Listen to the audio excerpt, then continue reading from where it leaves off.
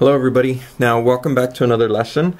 Uh, we're going to be talking about the change of variables in multiple integrals. In some textbooks this is known as uh, substitutions in multiple integrals. Now what I'm going to do to start off is I'm going to have you guys recall I'm going to have you guys uh, recall this topic from Calc 1 right? And this topic from Calc 1, you'll see what it is in just a little bit. Uh, from Calc 1, we know that if we have an integral moving from a to b, and this is for some function that has a function composition f of g of x, and it's multiplied by g prime of x dx, then this integral can be evaluated by making a nice substitution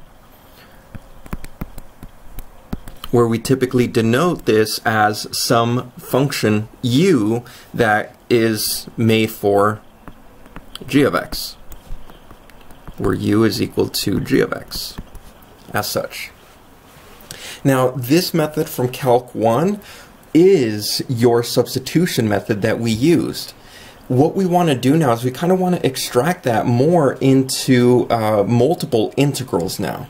So not just working with one integral, but now doing this with multiple integrals. Now, it's not going to be as straightforward as it was here. It's not just about choosing some function that's going to be doing some composition and then moving with that. All right. So right below here is where I have this drawing uh, that we're going to start off with. Now, we typically start in our domain. We're going to say we're going to start off with a domain D and domain D is going to be on some U and V axes. All right, so that's just to start off. And what we're going to do is we're going to apply some sort of transformation, and this is our transformation function.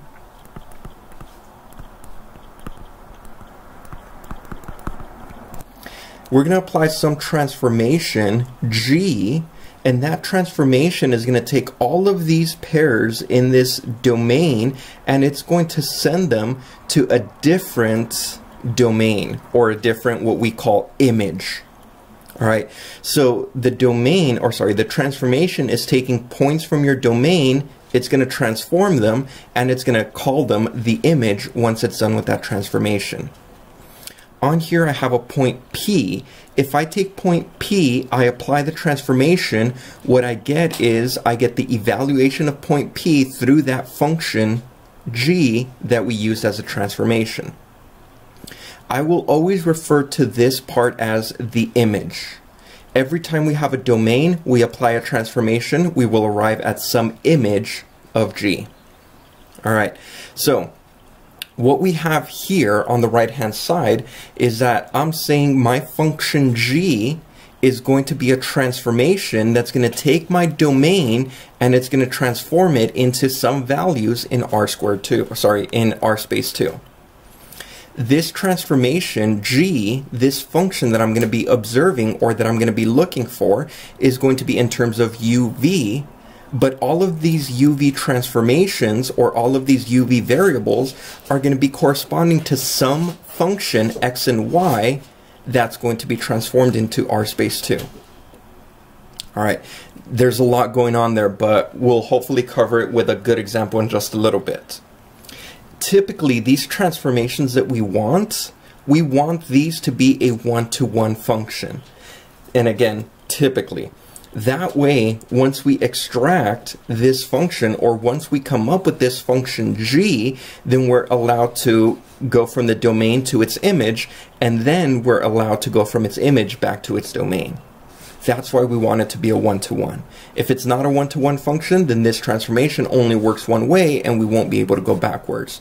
We would have to define a different function to get us there. All right, so now that we have this intro, let's start looking at an example. That way we can start seeing how this is going to be applied. All right, so here goes your first example. We want to find the image of the triangle of the triangle let's call this T, with vertices 1, 2, 2, 1, and 3, 4, under the linear map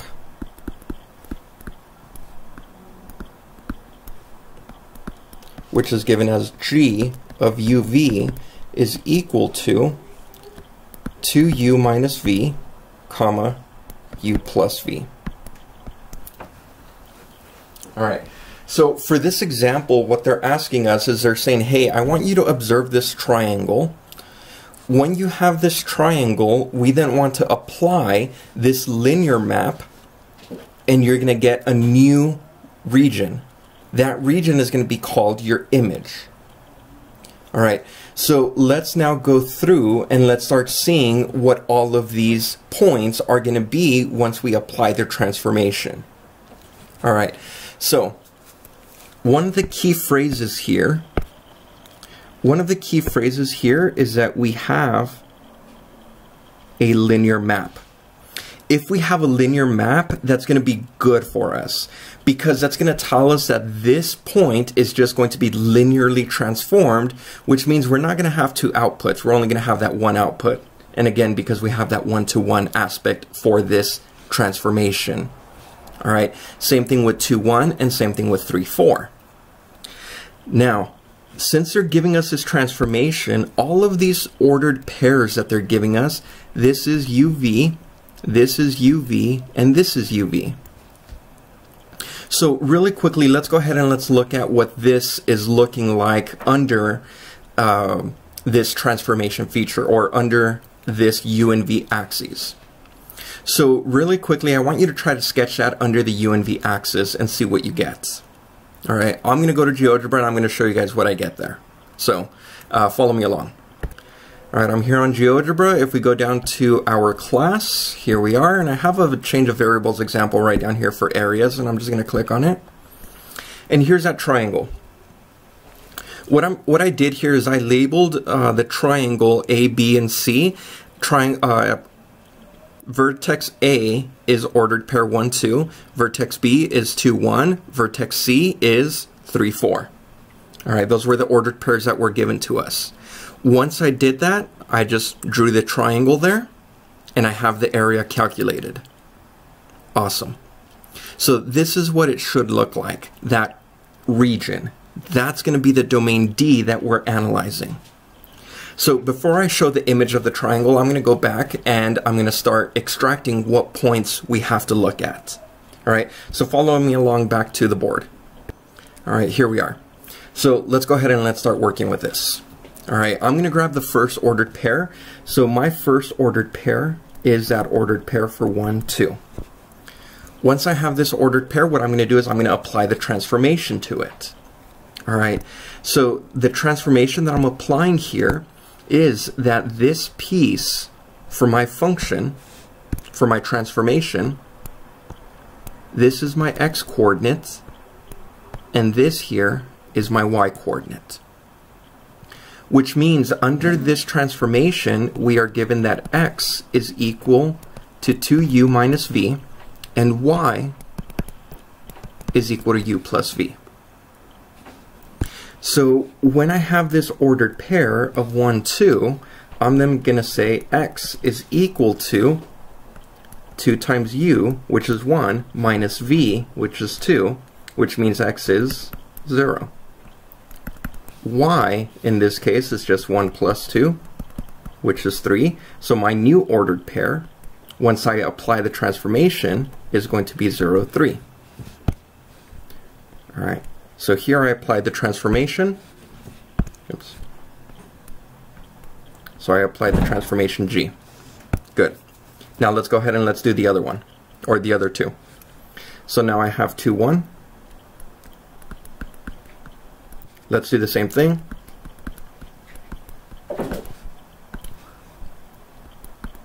That's going to give us 3. The y value, that's going to be 2 plus 1. That's going to get us 3. which means my new ordered pair is 3, 3. So the ordered pair 2, 1, once I apply this transformation, gets transformed into 3, 3.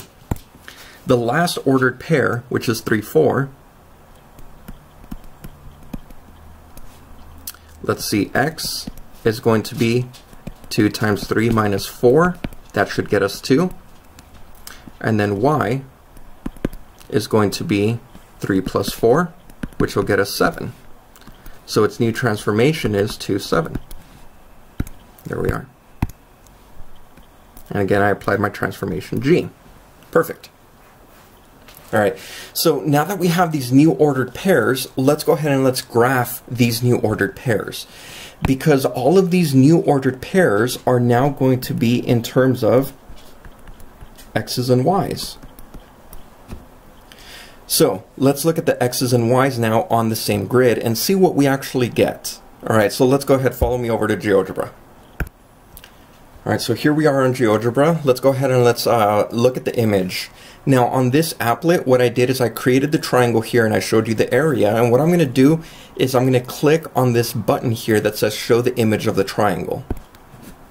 Here we are. This is the image that we transformed it to. This point A got transformed over to A prime. Remember, point A, that was point 1, 2. According to our work, the point 1, 2 got transformed to the point 0, 3. Point B was the point at 2, 1, and this one got transformed over to here, which was 3, 3. The last one was 3, 4, and it got transformed over to 2, 7. And there we have it.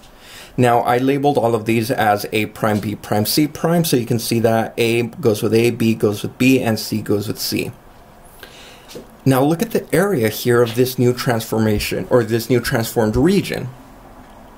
The area of the new transformed region is 6, but the initial area was 2. So there is some discrepancy happening here that we then need to investigate. The two areas are not equal to one another. All right, so that's one important feature that we then have to kind of keep in our back pocket is why are these not two equal to one another if we're applying this linear transformation that is one-to-one? -one? All right, so let's go back and let's investigate that. All right, here we are. So what I'm going to do really quickly here is I'm going to do this in purple. All right, so let's start looking at this. The area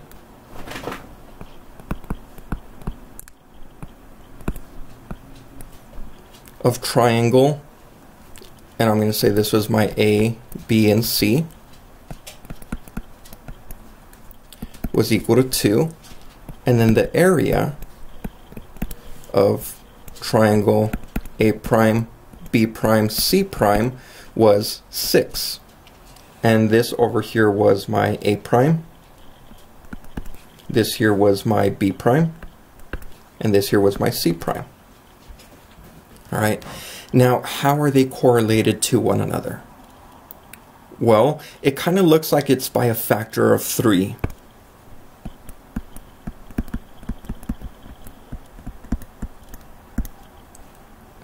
And that's kind of what we want to keep in our back pocket is that we analyze it and we can see that, yeah, it is being scaled by a factor of three. But can we find that scale factor? That's the big question.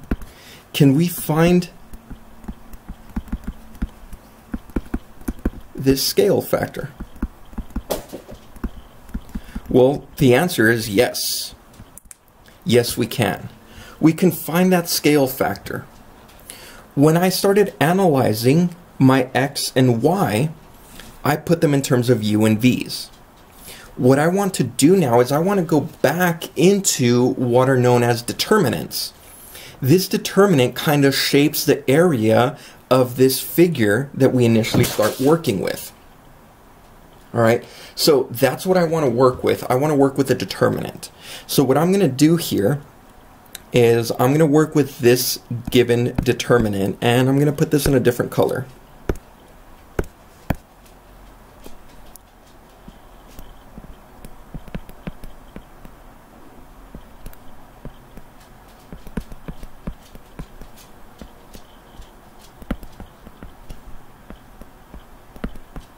Here we are. I'm going to look at the partial derivatives for my functions uh, x's and y's in terms of u's and v's. So let's look at the first partial derivative with x with respect to u. That's going to be 2. The next partial derivative is x with respect to v. So the partial of x with respect to v, that's negative 1. Partial of y with respect to u gets us 1, and the partial of y with respect to v gets us 1.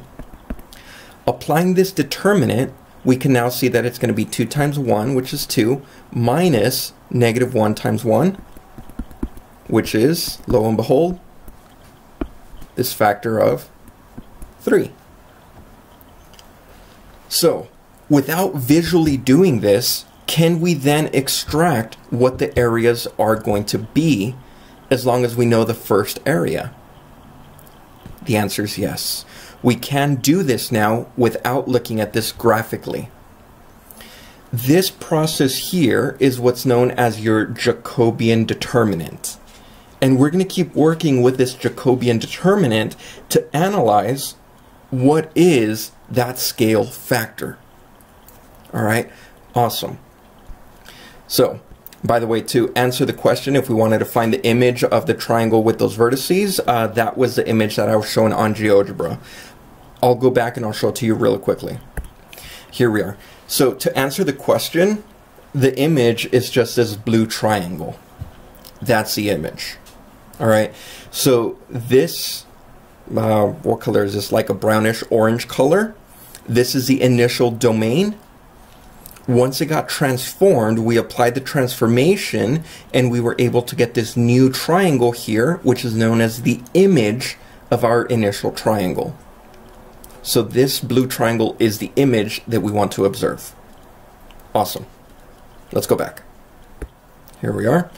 All right, so let's start analyzing this Jacobian. Let's uh, let's go ahead and let's define it a little bit more concrete. All right, so here we go.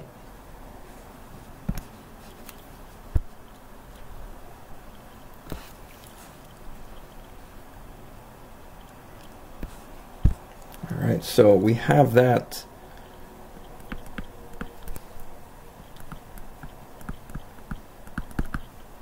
The Jacobian determinant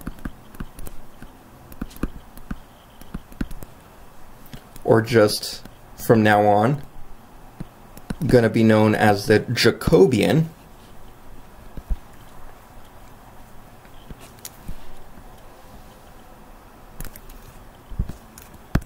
this Jacobian of a map, oops, excuse me, of a map G of UV, where that was defined as some x coordinate in terms of UV, some y coordinate in terms of UV, is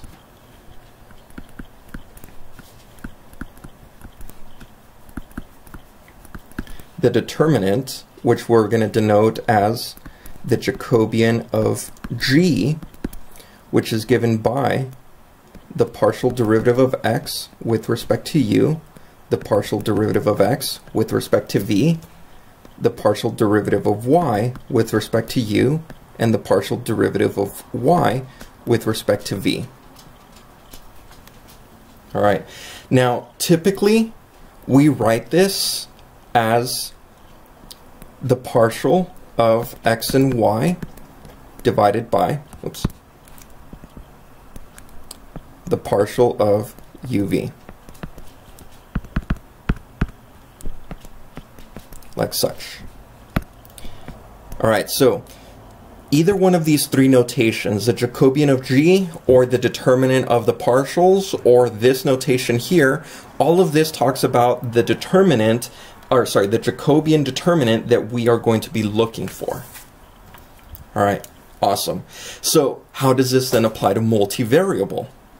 Well, if you remember back in chapter 15, early chapter 15, uh, we started looking to find areas of certain regions, and we were doing this with double integrals there was also an aspect that we said, hey, double integrals don't necessarily calculate area unless the integrand is the constant of 1. However, we can still integrate over those areas. And that's where the double integrals came into play, saying we can still integrate over these areas. All we have to do is figure out what is the bounds for that region. Well, looking at this example, we can now work with that and saying, hey, you're going to be integrating, and if you change your variables, there's going to be a factor that you need to account for. That factor for the integrals is going to be your Jacobian. So whenever we start setting up these double integrals and we want to change the variables, we then always have to account for this Jacobian because again, we are scaling the area by a different factor. So let's go ahead and let's write that up now, visually and uh, algebraically. All right, so here's the formal uh, the formal theorem that we're going to be working with when we're talking about this um, transformation or this substitution or this change of variables for these double integrals. All right, we're starting off with some initial domain D naught in the UV plane. We're going to apply some transformation G, and that transformation or that mapping is then going to give us an image of this uh, new domain called D. So what we're saying here is we're saying let let G be some transformation that takes the initial domain D naught and it maps it over to a different domain. We're going to call this image D. We want this map to be or to have continuous first order derivatives and that mapping needs to be a one-to-one -one on the interior of D naught. Then we're going to say once that mapping is done, we're going to define a new function. This function is going to be f of x, y. If this function is continuous, then when we take the double integral for this function over this domain or over this region D with respect to dx and dy, which is what we have here, then the double integral over the initial region that was being mapped, d naught, is the double integral over the same function, except now we're using the variables u's and v's. And when we do this, we have to account for that integration constant or that integration factor, which is known as a Jacobian, and this is going to be in terms of du and dv. Now, we have to be very careful with this because, again, the Jacobian can sometimes be negative. As we saw from before, if we have to find that constant factor, that or that scale factor, that scale factor needs to be positive. That way we can keep talking about this area that's being integrated in terms of a positive value. Which means anytime that we find this Jacobian and we insert the Jacobian into our calculations, this must always be the absolute value of the Jacobian in order to preserve that one-to-one -one mapping. All right, so Again, this is the part that we're going to need right in here. All right, this is how the Jacobian is now tying in to these double integrals. So let's start looking at this first example.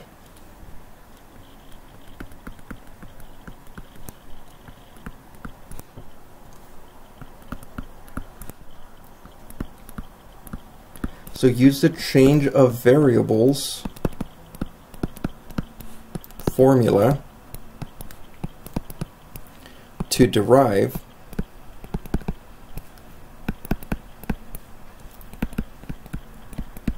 the formula for integration in polar coordinates.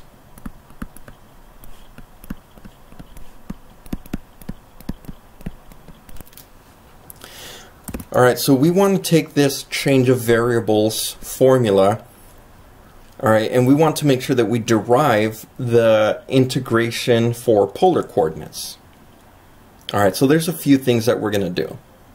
All right, uh, one of the few things that we're going to do is we're going to start analyzing what we have, or what is the bridge between polar and Cartesian. Excuse me that bridge that we looked at was that x is equal to r times cosine theta and y is equal to r sine theta. This means that if I have to build some sort of transformation, if I have to build some sort of transformation, then my transformation G will be in terms of R and theta, which means every single ordered pair that we're going to have is going to be in terms of x's and y's, but in here x is r cosine theta, which means here we're going to have r cosine theta, and in here we're going to have r sine theta. This is some sort of x and this is some sort of y, again in terms of r's and thetas. Now, when we start off, we're going to say, okay, well, we're going to be looking at this double integral over some domain for f of xy, and this is going to be dx dy. Now, we already know the end result, but again, we have to make sure that we transfer this end result using this change of variables. So, this is now going to transform into the double integral over our new region, call it d naught, all right? Or we can, you know what, let's, for this purpose, let's call it region R. My function f now gets transformed using this transformation. x's are now r cosine thetas, y's are now r sine thetas. dx dy, well we're going to figure out what dx dy is going to transform to in just a little bit, but we know here that we're going to need to multiply by the Jacobian of some transformation, and then this is going to be dr d theta. So all we need to then figure out is what is this absolute value of the Jacobian that we're looking at. All right, so I'm going to do that work here in green, and I'm going to do it on this side over here. You know what, let's do it in purple. I'm going to do it that work right over here. So, the Jacobian of G is then going to be the partial derivatives. I need the partial derivative of x. And in this case, it's going to be with respect to r. All right, right here, with respect to r. Then I'm going to need the partial derivative of x with respect to theta. Then the partial derivative of y with respect to r. Partial derivative of y with respect to theta. All right, so we have this going. Let's go ahead and find that out. Partial of x with respect to r, that's going to give us cosine theta. Partial derivative of x with respect to theta, that's going to give us negative r sine theta. Partial derivative of y with respect to r, that's sine theta. And then partial derivative of y with respect to theta, that's going to be r cosine theta. There we are. Nice. Alright, so all we do now is multiply. Alright, or get that determinant. This is now going to be r times cosine squared theta. And that's going to be uh, minus that, so it's going to be a plus. So it's going to be plus r sine squared theta. And if we can factor out the r here, then we're left with cosine squared theta plus sine squared theta but that's a Pythagorean identity, which means this is just r. So when we have to insert this Jacobian, this Jacobian is just r, so I'm going to come over here, and I'm now going to rewrite this.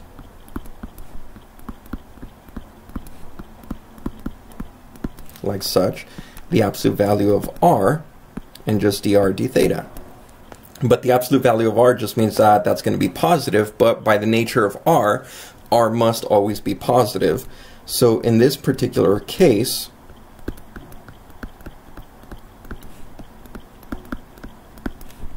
we just get r dr d theta, which is the initial formula that we got back in chapter, or back in early chapter 15.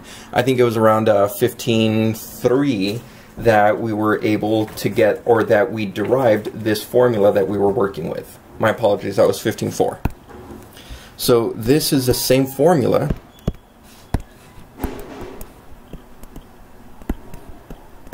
Same as uh, the double integral in 15.4. Nice. All right. Perfect. So now we actually get to see that, hey, we were actually using this change of variables, except we weren't discussing it as a change of variables uh, back in early chapter 15. All right, so let's go through and let's do a, uh, an example that's a little bit more complicated. That way we can start seeing how we're going to be transforming these uh, specific values or these specific features. All right, so here we go. This example, we're going to say use the change of variables formula to compute. And what we want to compute here is going to be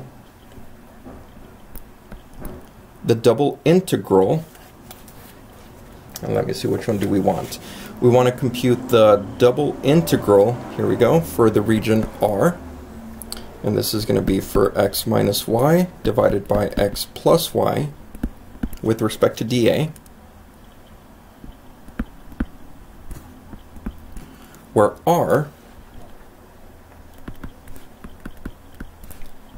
is the region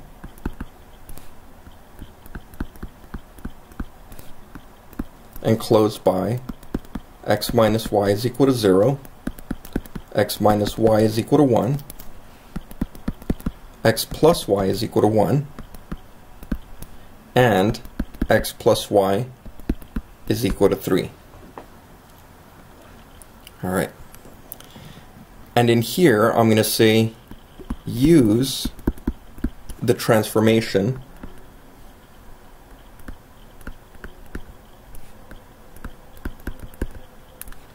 So the transformation that I'm going to give you is going to be that u is equal to x plus y and v is going to be x minus y. Now you can kind of see why this is going to be beneficial. If you notice the transformation that I'm giving you, u is actually the denominator and v is actually that numerator for that function.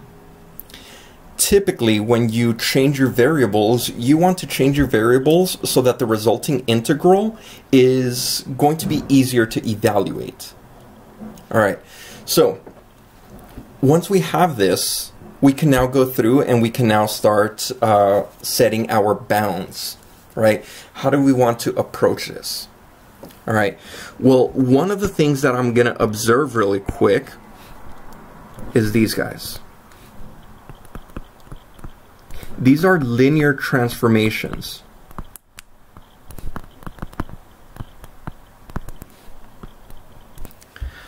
They're linear transformations, which is going to make this type of transformation a little bit easier to work with.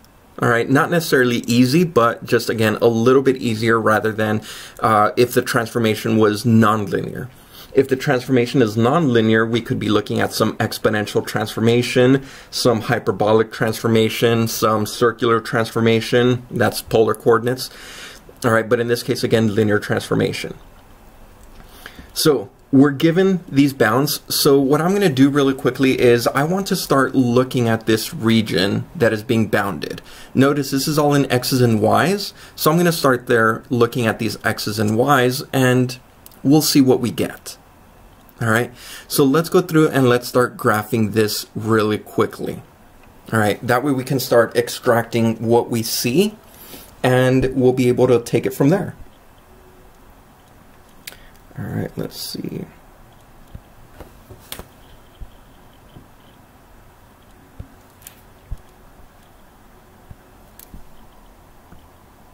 Whoops. Let's make that black.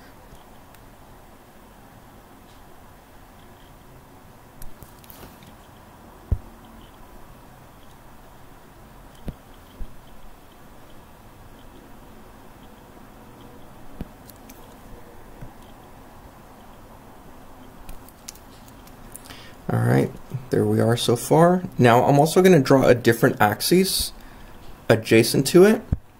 Uh, that axis is going to be my UV plane. In other words, it's going to be the transformation that I'm going to be looking at, or it's going to be the image that I'm going to be looking at.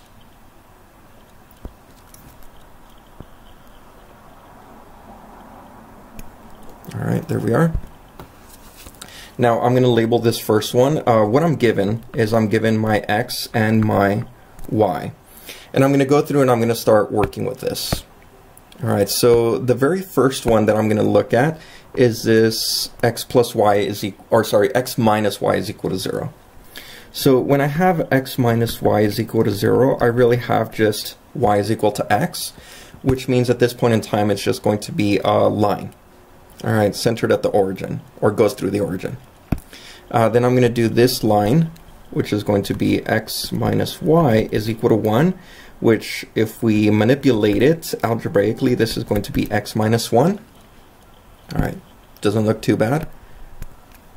Then I'm going to have x plus y is equal to 1, and I'm going to manipulate this to say y is equal to negative x plus 1. And then the very last one, uh, let's do this in, let's say light blue. This one's going to be x plus y is equal to 3, which means that y is going to be negative x plus 3.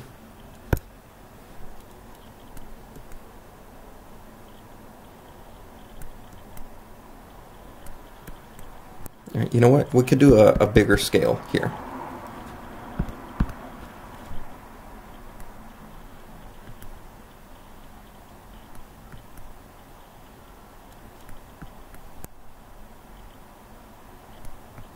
There we go.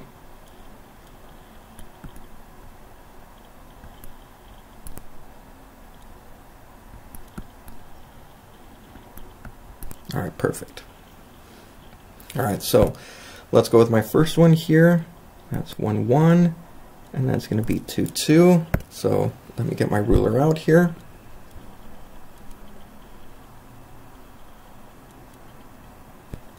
It's somewhere there at about a 45 degree angle. Nice. Alright, perfect. So that one's now done. Now I'm going to go with uh, the next one. Uh, this is going to be an intercept at negative 1. Alright, so I'm going to go an intercept of negative 1. There's my intercept at negative 1 and slope of 1, so 1 over 1, like such, 2 over 2, so on and so forth. Alright, let's get that going again. This one's going to come here.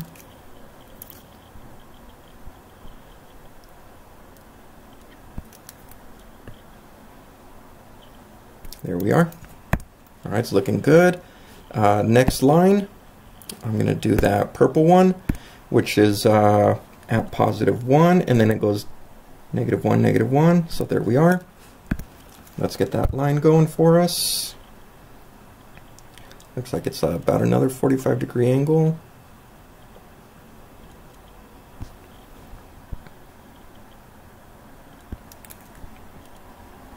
There we are. Nice.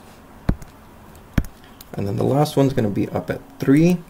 And that's going to be a slope of 1, so it's going to cross back down here at 3 or sorry, negative 1.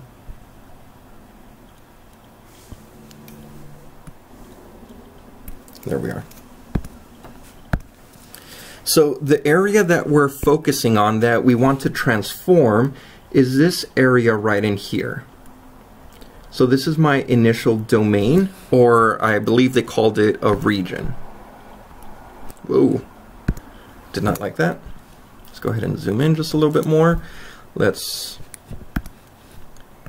delete that piece, and we want to call this our region R. There we are. Perfect. What are you doing? Uh-oh. Let's go back. There we go. Sorry, everybody. This uh, technology stuff is, uh, I'm still getting used to it. And uh, it's a work in progress. All right, it's a work in progress. So there we are. So that's going to be the region that we want to then transform. Now notice, uh, no matter what way we actually try to dissect this region, if we were working with this with uh, double integrals, it would be very tough to calculate uh, because we would need uh, about three double integrals in order to make this calculation work, which again looks really tough. Now, we're going to again transform this into some UV plane. And that's going to be the integration that we're going to be looking for. All right. So again, we want to apply some sort of transformation here. So in order to apply this transformation, we then have to figure out what are all of these values being transformed into. All right. Notice here I have that u is equal to x plus y. So let's look at those quick transformations then. All right, so I'm going to look at this purple line first, x plus y. All right, so I'm going to really quickly grab this line, which was this x plus y was equal to 1. Under the transformation, we get that x plus y is equal to u, which means x plus y, that's this guy. Isn't this just u? Which then tells me that u must be equal to 1. Well, what does u equal to 1 look like then? Let's actually go back over here.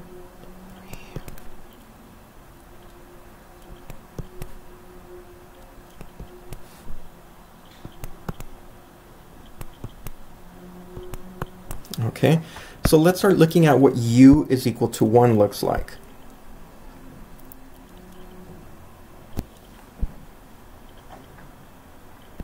All right, so here we go. That line was the purple line, right? So that purple line, now instead of it being diagonal this way, that's just u is equal to 1. That's just this line right here.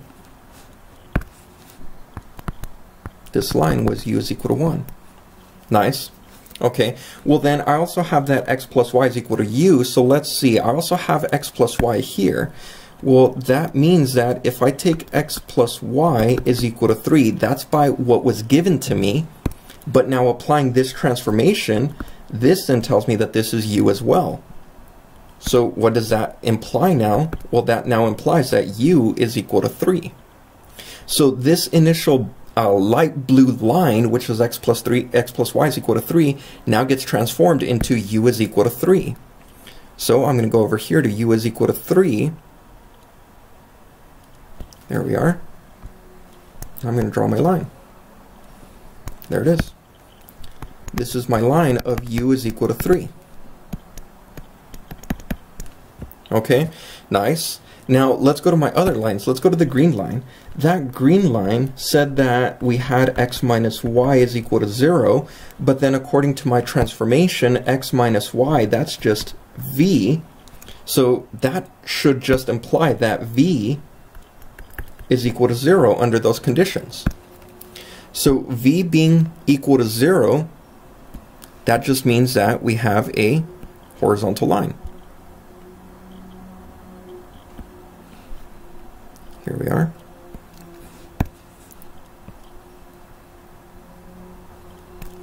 So there's my line for v is equal to 0. And the last one that we have, well, the last one that we have was in orange here. I'm going to bring this down just a little bit lower, that way, that way I can have space. Uh, we have this x minus y was equal to 1, but under the transformation feature, we now have that v is at x minus y, which then tells us that v must be equal to 1. So if v is then equal to 1, here we go, v is equal to 1, we now have this horizontal line. Now look at the region that we now have. That region that we now have that we're focusing on is this rectangular region here. And I'm going to call this region something else. All right, let's call this region D. All right, because it's definitely not the same as region R that we started with. All right. So now that we have this, this actually is going to be easier to integrate because notice if we set up double integrals here, these double integrals, it's just a rectangular region. Rectangular region, well, we're allowed to use Fubini's theorem. So it doesn't matter which one we do, du dv or dv du, because Fubini's theorem is going to say, hey, you have a rectangular region that you're integrating, uh, set up your limits of integration, and then you can interchange them as you like. Awesome. So let's go through and let's start then analyzing this. Well, if we initially started with the region R, and this was x minus y divided by x plus y, and this with, with this was with respect to dA, then under these transformation regions, we're going to be looking at the double integral. And again, it doesn't matter which one we go with. Limits of integration first. We could go with v's first, or we could go with u's first. All right, so I'm going to set this up. I'm going to go, uh, let's go with u's first. All right, so my u's are going to be changing. Uh, the u's are going to be changing from 1 to 3. So it's going to be from 1 to 3. That's going to be du. And then I'm going to set up dv. dv is going to change from 0 to 1, like such. x minus v, sorry, x minus y, x minus y, that was our v. x plus y, that was our u. And then we need to multiply, remember, by the Jacobian of this transformation that we are observing we don't have the Jacobian yet. So we need to calculate that Jacobian. So let's go through. I'm going to do the Jacobian on this uh, right-hand side over here. So the Jacobian of G. All right. Again, I'm going to be looking for partial derivatives. All right. So I'm going to be looking here for the partial derivative of x with respect to u the partial derivative of x with respect to v, partial derivative of y with respect to x, and the partial derivative of y, oops, excuse me,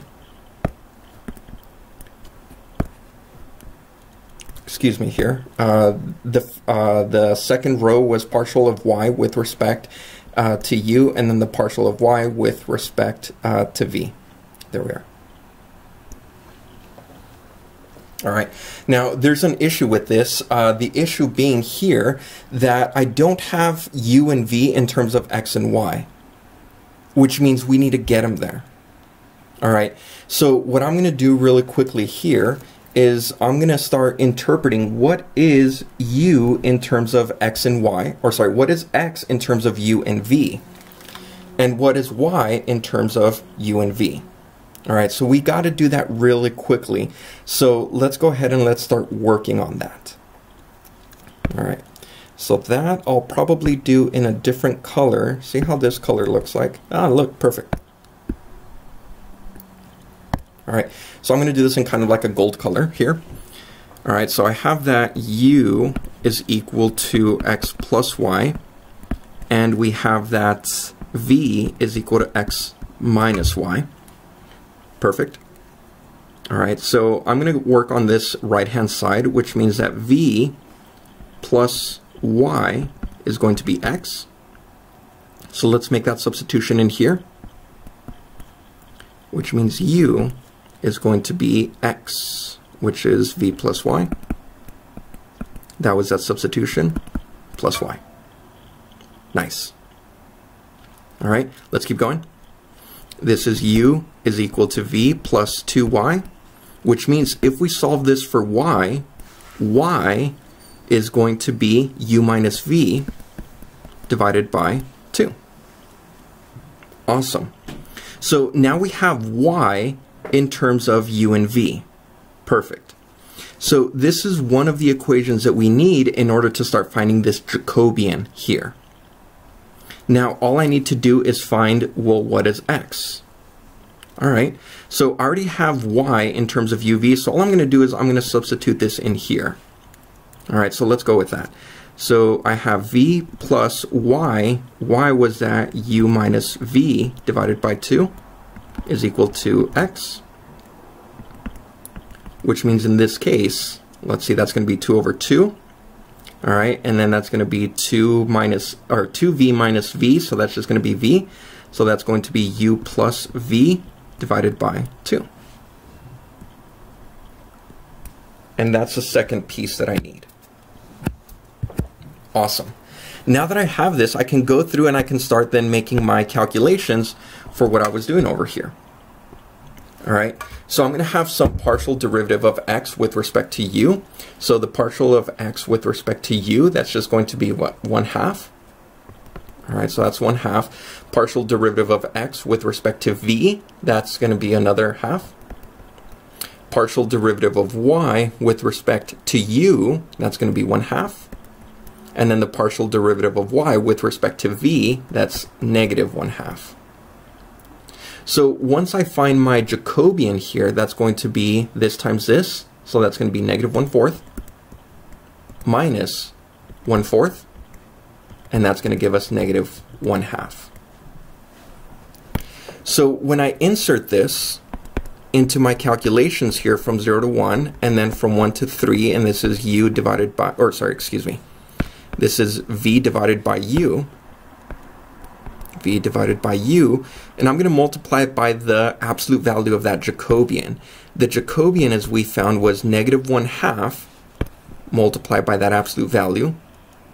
There we go. Actually, let's clean this up just a little bit since I didn't really make it clear. There we go, negative 1 half.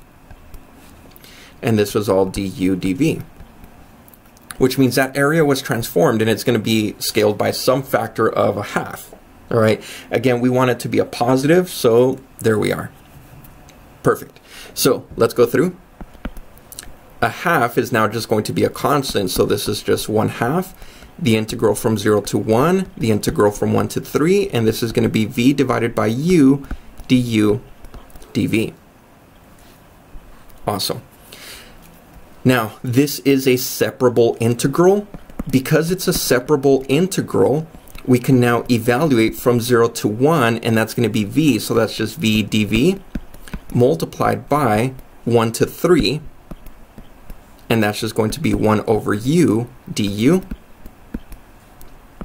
All right, so let's go through here. This is going to be 1 half multiplied by the integral from 0 to 1 of v dv. That's just going to be uh, 1 half, if I'm not mistaken. And then over here, we're going to have uh, the integral of 1 divided by u. That's going to be natural log. So what we're going to have is the natural log of 3 minus the natural log of 1. Uh, natural log of 1 is 0, so that's just the natural log of 3, which means my final answer should just be 1 fourth natural log of 3. So that initial area that we were trying to integrate over, this uh, region over here, region R, that was a, a really difficult region to integrate with double integrals.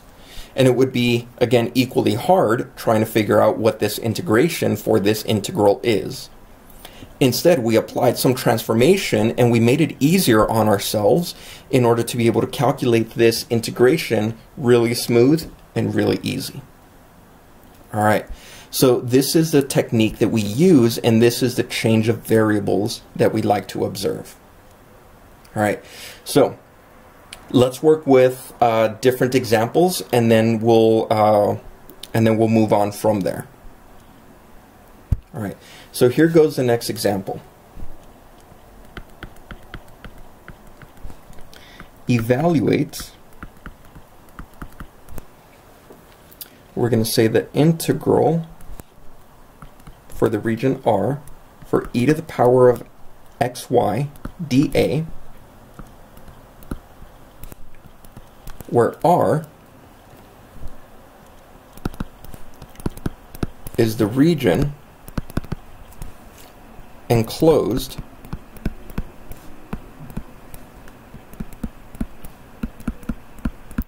by the lines y is equal to 1 half x and y is equal to x and the hyperbolas y is equal to 1 over x and y is equal to 2 over x. Alright. What we're going to want to do here is we're going to want to start looking at these regions. All right, so one thing I'm gonna do here is I'm gonna add to this just a little bit more. I'm gonna say sketch. The region R. And its image. So we have two things that we want to do. We want to sketch the region R, then we want to sketch its image once we find the transformation that we're looking for. That way we can then start evaluating this double integral using those transformation techniques. All right, so here we go. All right, so what we want to do once again is first sketch this.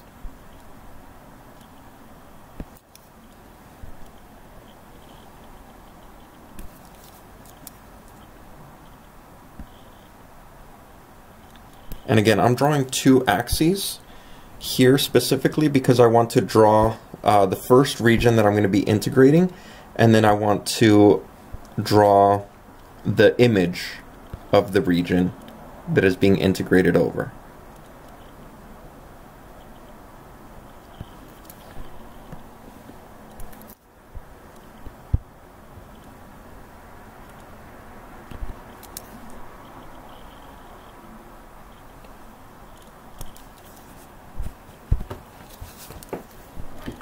Alright, so what I'm given here is, again, I'm given my integral in terms of x's and y's. So I'm going to put in in terms of x's and y's, and I'm going to be transforming into u's and v's. Alright, just as such. Alright, so I need a scale now, so I'm going to put a scale here, that way we can go ahead and work with this.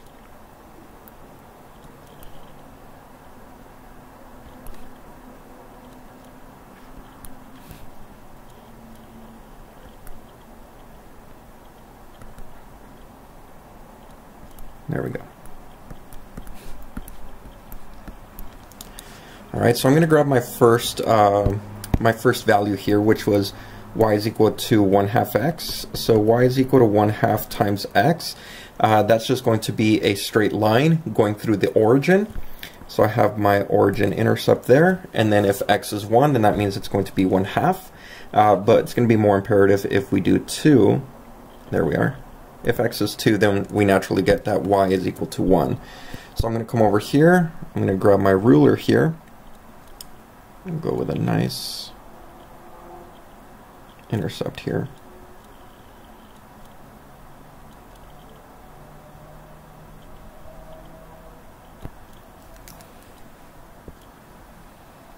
Alright, there we are. So this here is y is equal to 1 half x. Then I'm going to grab y is equal to x. y is equal to x. Alright, and that one's going to be at 1, 1. There we go. That one's going to be more of a 45 degree angle.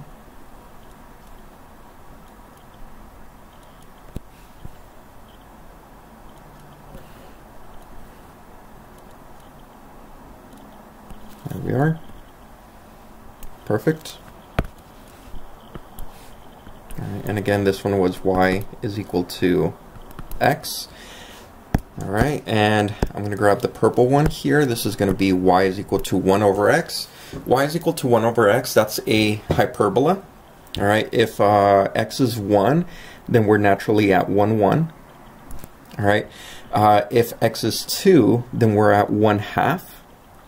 But if x is 1 half, then we must be at 2, right up here.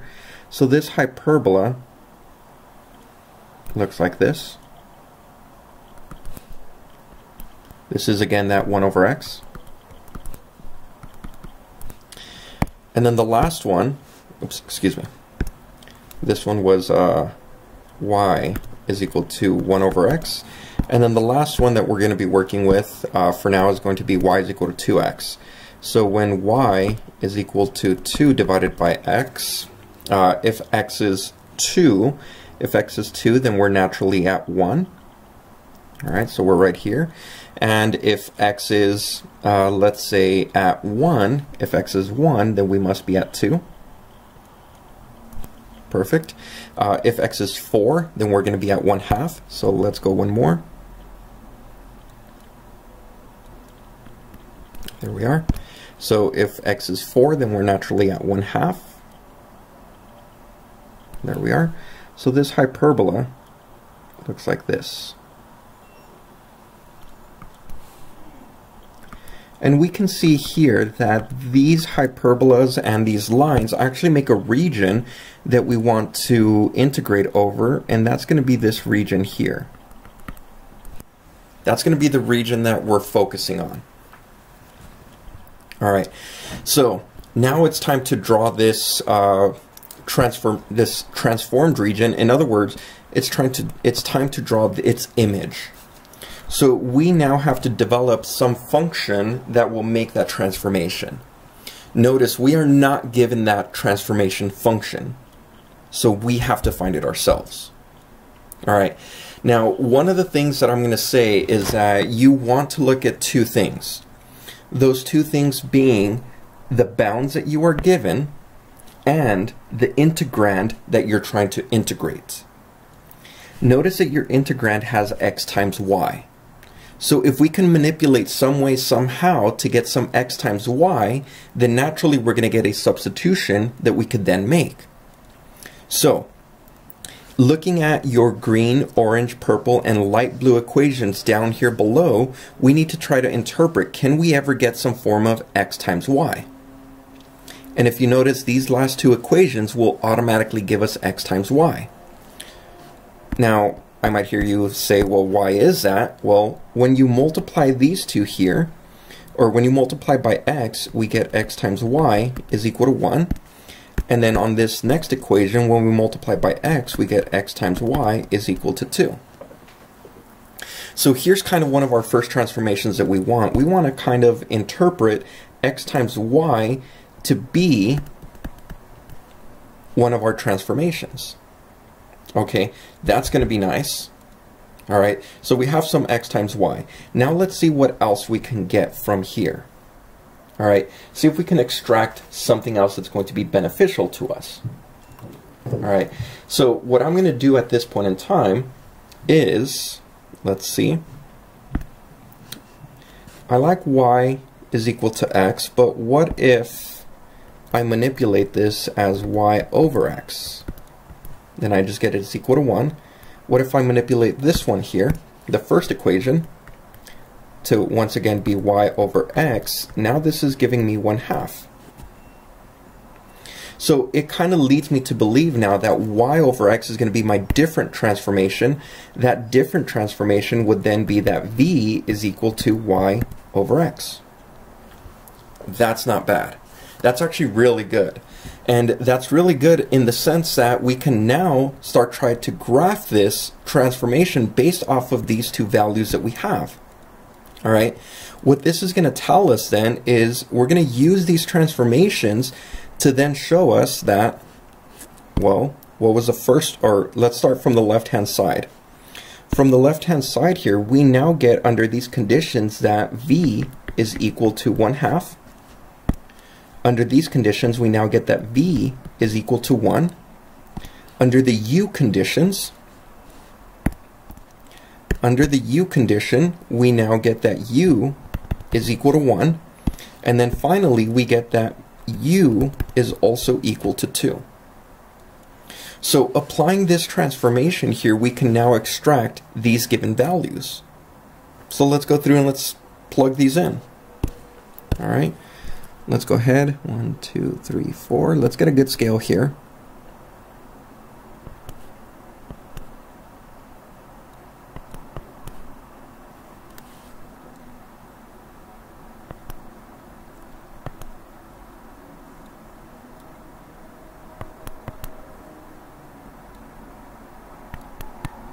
All right, here we go. So I'm going to go with V is equal to 1 half. Now v being equal to 1 half, that means that I'm going to have this horizontal line.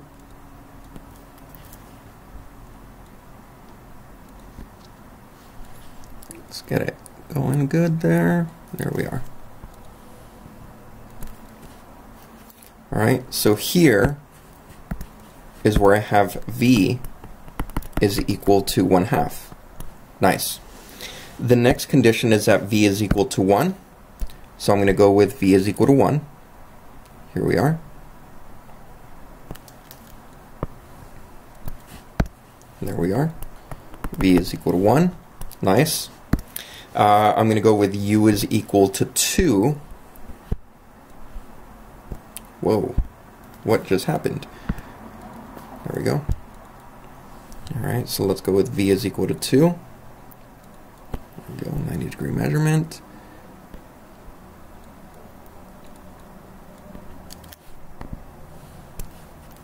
Alright, and the last one I need is that u is equal to 1.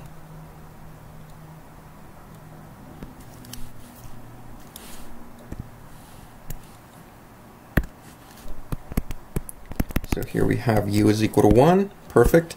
And then here we have that u is equal to 2, which means this area was then transformed and we're now looking at this area here. We're going to call this area D. And that's going to be the area that we then want to integrate. So we want to integrate over this area. Awesome.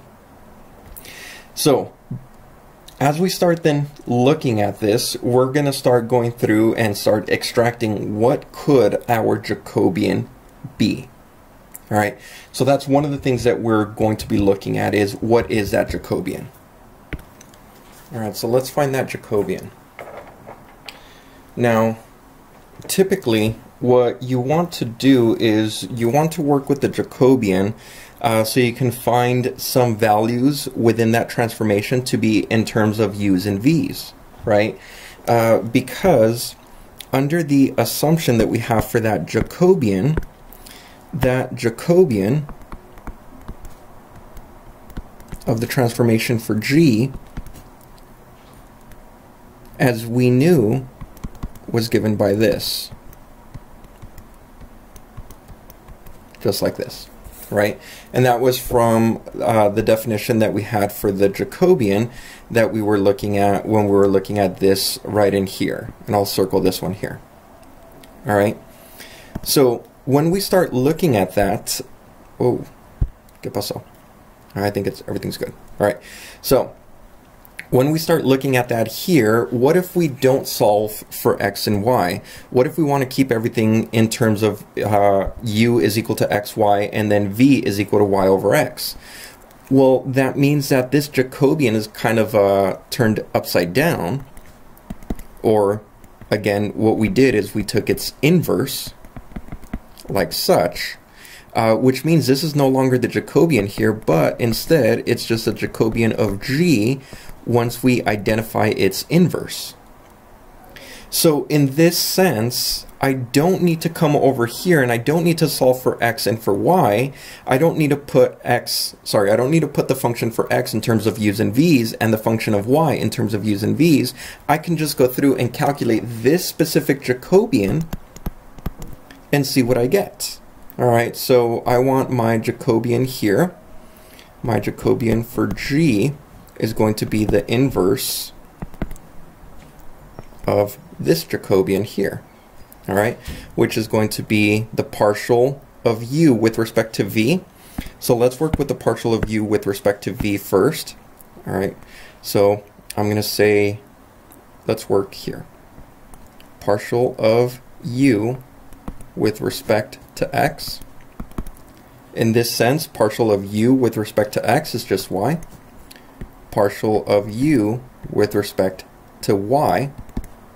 All right, partial of u with respect to y, that's just x. Nice, looking good so far. All right, so this is just y, this is just x so far. And then you can go through the rest of the partial derivatives. The partial of u with respect, uh, sorry, the partial of v, partial of v with respect to x, partial of v with respect to x, that's going to be negative y over x squared. All right, take the next derivative, derivative of uh, v with respect, derivative of v with respect to y. That's going to be just 1 over x. There we are. Which means we multiply. So this is going to be y over x plus, that's going to be x times y over x squared. So that should be y over x, which means we get 2 y over x like such. But remember, what is y over x? y over x, that's just v, which means this must be, it's just 2 times v. So the inverse, or at least the Jacobian inverse that we're looking for here, is 2v. But again, we need that Jacobian, which means the Jacobian for g is just going to be 1 half v. So again, there was no need to actually go through and solve for x and for y and put them in terms of u and v if we can just go through this process. Nice. So let's go ahead and let's start setting this up now, now that we have everything that we need. All right, so we had the double integral over the region R, and that was for e to the power of xy, and that was going to be with respect uh, to dA. There we are. Perfect. And this was again in Cartesian coordinates. And what I'm going to do here is I'm going to set this up now. I'm going to go to my integral. Wow. Here we go. I'm going to go to my integral here. And I'm going to start setting up this integral. I'm probably going to want it to be uh, du dv. So my u's are changing. u's are changing between 1 and 2. v's are changing between 1 half and 1. That's 1 half and 1. And that's going to be e to the power of x times y. But x times y was that uh, u that we put in. And then the absolute value of that Jacobian, which was 1 over 2v. Now to evaluate this, uh, the 1 half, that's just a constant, which means that's 1 half, and then we integrate from 1 half to 1, and then we go from 1 to 2, and this is going to be for e to the u, 1 over v du dv. Nice. Now again, this is a rectangular region, which means Fubini's theorem works, which means we could either set up dv du as long as we match those limits of integration. Now, this integral is separable, and because it is separable, we are able to integrate 1 half to 1, and that was dv. So that means this is going to be 1 over v dv, and we're going to multiply this by 1 to 2 for that integral, and that's going to be e, whoa, and that's going, let's try to erase that, there we go and that's going to be e to the power of u, and that's going to be du. Awesome. So let's see, this is going to be 1 half. This first piece right here is going to integrate uh, into a natural log. And when we integrate this into a natural log, we will get the natural log of 1 minus the natural log of 1 half. Nice. And then this is going to integrate to just e to the u. So this is going to be e to the power of 2 minus e to the power of 1. Awesome. Now let's go ahead and simplify a little bit more. This is just 1 half multiplied by e squared minus e. And then this in here, natural log of 1, that's going to naturally go to 0. And then natural log of 1 half, I can rewrite that without the negative if I interpret it as just the natural log of 2. Remember, natural log of 1 half, this is really 1 over 2, which is uh, 2 to the power of negative 1. Negative 1 is the exponent. Move that exponent forward, and that's negative 1 times a positive. Sorry, negative 1 times a negative, which makes it a positive, which means this is our final answer. And there you have it. This is the method of substitution for multiple integrals, or as we like to call it, this is the change of variables with these integrals. All right? So I hope you all enjoy this lesson, and I will see you all next time, ready for chapter 16.